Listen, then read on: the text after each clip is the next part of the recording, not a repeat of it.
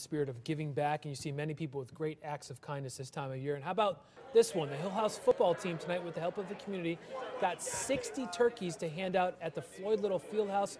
So they finished practicing for their Thanksgiving Day game against Wilbur Cross, then opened the doors for people to come in and get a holiday meal.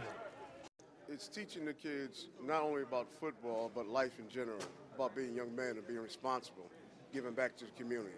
It's good to know that you help somebody out, like people that don't have, and some, yeah, you know, a lot of people they don't have food, like they families starve, and for us to just, you know, help them out and give them food, it's like it's a blessing.